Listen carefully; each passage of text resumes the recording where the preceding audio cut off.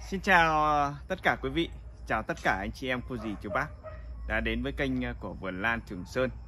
Ngày hôm nay thì ờ, Vườn Lan Trường Sơn có một cái chia sẻ nho nhỏ cho tất cả anh chị em cô dì chú bác yêu hoa lan trên mọi miền Tổ quốc. Về thứ nhất là chia sẻ về cái trồng cây hoàng thảo đùi gà vào thời điểm này. Thì cũng xin chia sẻ cho anh chị em rằng là rất nhiều người vào thời điểm này thấy rằng là cây đùi gà uh, nó bắt đầu đã xuất hiện với số lượng hàng cân. Thì cũng có nhiều anh chị em đã mua và muốn về để có được những cái giò lan mà chính bàn tay của anh chị em trồng. Thì hôm nay em cũng chia sẻ bằng ờ, thực tế thôi. Bởi vì là cũng rất là nhiều năm rồi em trồng lan. Thì cây đùi gà là một trong những cái dòng có thể nói là hoa rất là đẹp. Chắc hẳn rằng anh chị em đều biết. Và cái một điều nữa rằng là nếu như chúng ta lấy trái vụ và chúng ta xử lý không tốt thì khẳng định với anh chị em cây rất kém rất xấu.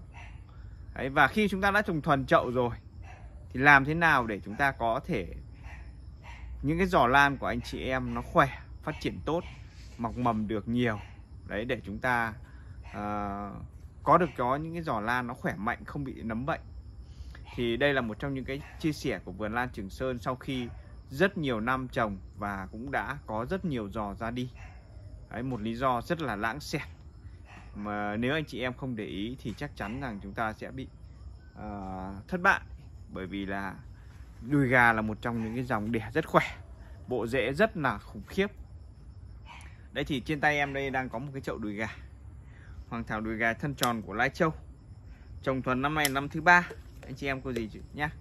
Anh chị em nhá năm thứ ba thì à, cũng có rất là nhiều video, em cũng sẽ chia sẻ cho anh chị em về cái à, cây đùi gà này, cái à, độ phát triển của cây và cái mùa để một cây có thể phát triển tốt. Thì đến thời điểm này, nói chung là cây đùi gà nó phát triển là quanh năm.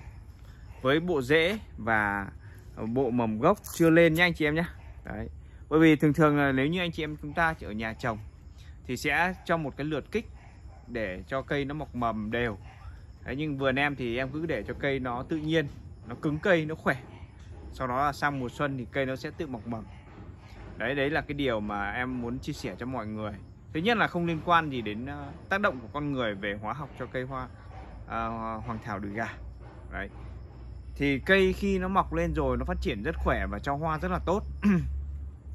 Nhưng có một điều rằng là anh chị em đều gần như là không để ý đến độ phát triển của cây khi bộ rễ nó quá nhiều và đây đây là bộ rễ quá nhiều.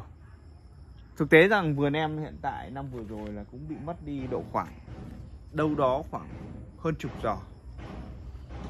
Hơn chục giò to như thế này. Anh chị em nhé, to như thế này luôn.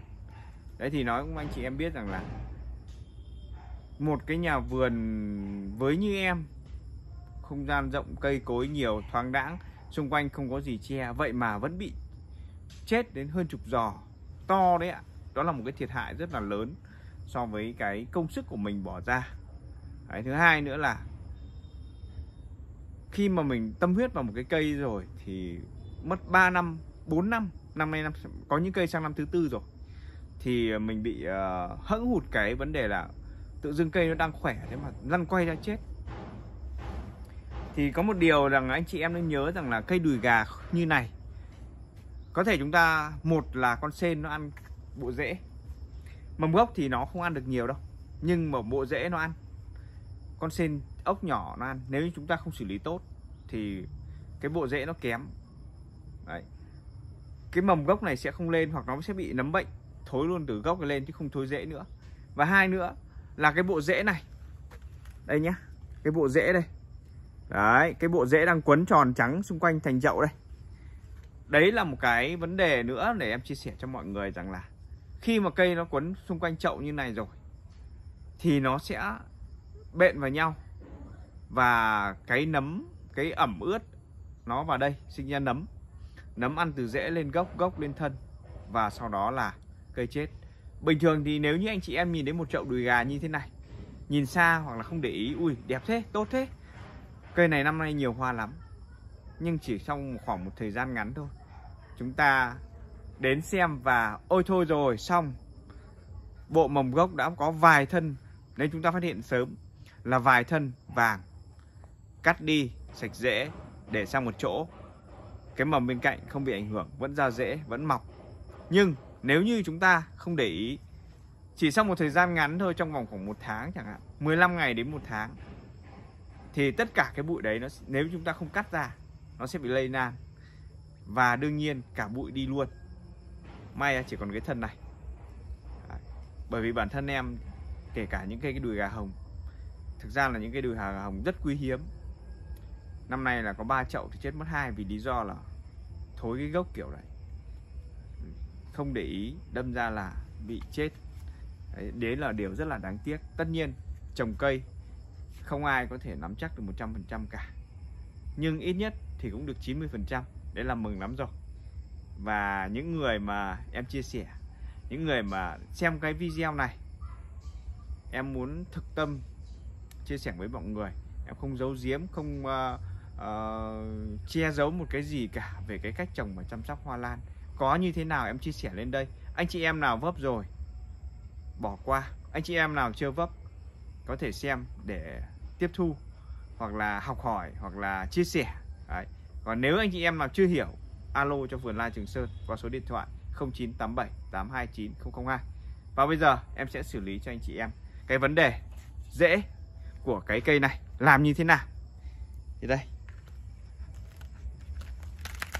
Đây, anh chị em này, em bậy phát lên luôn. Đấy. và mọi người có thể nhìn thấy bộ rễ đây đây.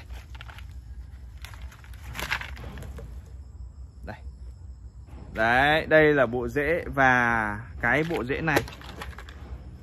Đấy. cái bộ rễ này đây. Nó vẫn phát triển nhá nhưng nó sẽ bị chậm hơn. Bởi vì nó không có độ thông thoáng. Đây đây rễ vẫn tươi này. Nó sẽ không có độ thông thoáng. Thì đương nhiên là nó sẽ bị ảnh hưởng rất là nhiều. Đấy, khi chúng ta như thế này rồi chúng ta để nó ra một chỗ thoáng hoặc là chúng ta có thể à, uh, chắc ăn hơn là chúng ta giải những cái bả sen. Bả sen hồng nhé bả sen hồng. Khi chúng ta giải bả sen hồng xong tức là tưới nước này giải bả sen hồng này. Đến hôm sau anh chị em phun chống nấm chống thối cho cây để tránh cái vấn đề ấy. Sau đó là tùy từng vườn nhà mình mình cứ làm theo ý vườn nhà mình cũng được. Cây nó thoáng thì không bao giờ sợ chết. Và như này thì bộ rễ này sau một thời gian ngắn nữa thôi, nó sẽ phát triển rất là tốt. Đây, em lấy ví dụ cho anh chị em. Đâu nhỉ, em có cái chậu. Đây. Đây, em lấy ví dụ luôn cho mọi người luôn. Đây. Cái này đang lên mầm. Đây. Ngày trước là nó ở một cái chậu nhỏ. Sau đó em cho sang. Đây. Bộ rễ nó đã xòe như này rồi. Nó ăn lan ra như này rồi. Đấy như vậy thì nó sẽ rất là tốt. Và cây này nó sẽ phát triển ổn định không bị ảnh hưởng đến nấm bệnh thì ờ, đấy là cái mà anh chị em nên lưu ý nhé đấy, lưu ý những cái vấn đề đấy. Đây. thế mới thấy là cho anh chị em rằng là riêng em trồng thì nó rất đơn giản để làm sao cây nó phát triển khỏe phát triển tốt. Và như thế này thì nó sẽ rất là ok. Đấy, bộ rễ như thế này. Đấy, thì hôm nay ờ, cái video của em cũng nho nhỏ vậy thôi. À, sau khi chúng ta nhấc cái chậu này ra rồi chúng ta cho vào cái chậu to hơn. Cho vỏ thông to hoặc dấn sợi. Cho phân hữu cơ nhiều một chút không sao cả. Phân tan chậm chăm tưới như bình thường. Thế là ok. Chúng ta sẽ có một cái giỏ lan rất là khỏe phát triển tốt. Đấy, như vậy thì hôm nay em cũng có một cái chia sẻ nho nhỏ như vậy. Chúc anh chị em cô dì chú bác chúc tất cả mọi người uh, sẽ có được những cái giò hoa lan đẹp. Để trưng bày ở trong nhà mình chia sẻ cái uh, những nhánh hoa lan rừng đấy hình ảnh hoa lan rừng đấy cho mọi người cho bạn bè cho người thân cho những người yêu thích hoa lan. Vâng nếu như còn gì mà không rõ nữa anh chị em cứ alo điện thoại cho vườn lan Trường Sơn nhé. Số điện thoại là 0987 829 002 sẽ chia sẻ hết mình cho anh chị em. Rất cảm ơn mọi người. Xin chào và hẹn gặp lại anh chị em ở những video clip tiếp theo ạ.